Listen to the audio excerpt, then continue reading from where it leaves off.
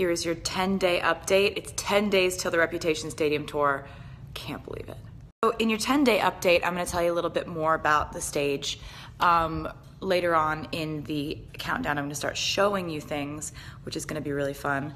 Um, but about the stage, the stage is the biggest stage we've ever had. It's it's 110 feet tall, and both of the B stages that are out in the audience are pretty much just as big as the main stage was on the 1989 tour.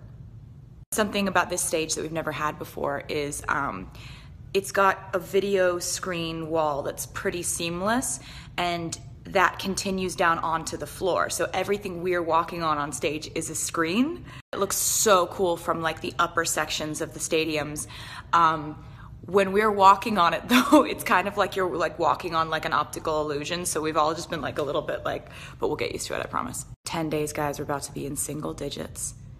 This is really really